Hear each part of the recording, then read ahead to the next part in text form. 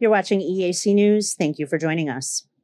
Having been Cambodia's prime minister for just over two weeks, Prime Minister Hun Manet has hit the ground running to establish his reputation on the international stage.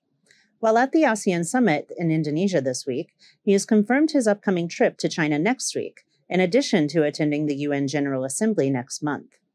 Yesterday, he confirmed his attendance at the upcoming Belt and Road Initiative Summit in Beijing from September 13th to 14th, in addition to the China ASEAN Expo in Nanning from September 16th through 19th. EAC News reporter Anthony Ellis has the details. China's Belt and Road Initiative, sometimes referred as the New Silk Road, is one of the most ambitious infrastructure projects ever conceived.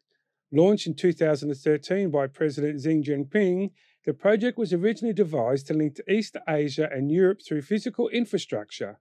In the decades since, the project has expanded to Africa, Oceania, Latin America, significantly broadening China's economic and political influence.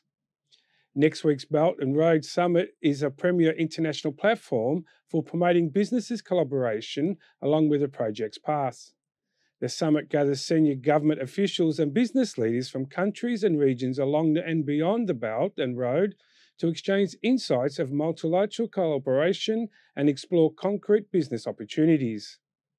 At the 26th ASEAN China meeting in Jakarta yesterday, the Prime Minister recognised the common interest for the good relations between China and ASEAN for over nearly three decades.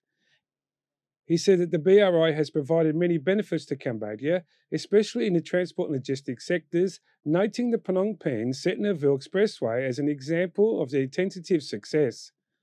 Prime Minister Hun Manet will then attend the China ASEAN Expo in Nanning, where the multinational business, politicians, and diplomats mingle for further cooperation in trade, economy, and other fields, as well as people to people exchanges.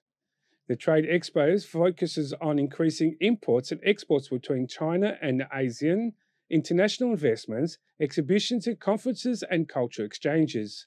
Anthony Ellis, EAC News.